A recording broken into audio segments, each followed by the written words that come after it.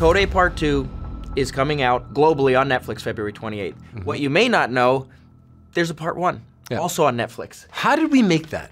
We had over 30,000 backers for a record-breaking Indiegogo campaign. We raised mm-hmm. over $3 million. Mm-hmm. We did premieres around the world.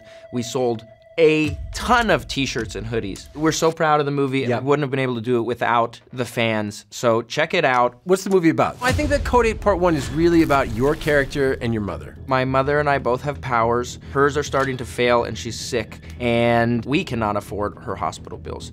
So Steven's character introduces me to the criminal underworld of using your powers and making profit. I'm doing the wrong things for the right reasons. How far will someone go to save someone they love? You don't have to watch it before part two, but it does make. part Yes, you better. do.